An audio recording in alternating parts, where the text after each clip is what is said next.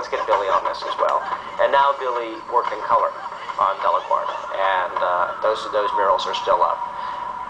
We are currently in the downstairs lobby of the Daryl Roth Theater on 15th Street and Union Square East, where the hit show De La Guarda has been playing for five years.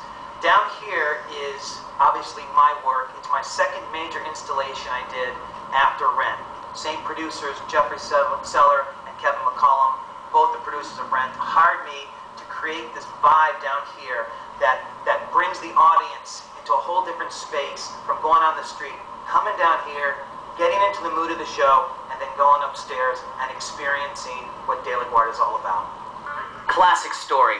I, uh, I wanted the whole room to look like this massive color mural here, but uh, some of the people involved in the show weren't quite sure if the show was going to be a hit or not. So I initially painted the walls this clouds and the uh, De La Guarda star, because uh, it's easier to paint over if the show closes early.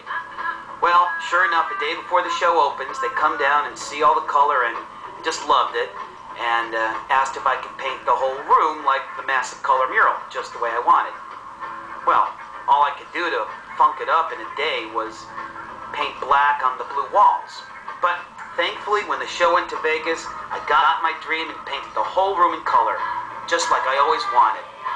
Everyone was thrilled.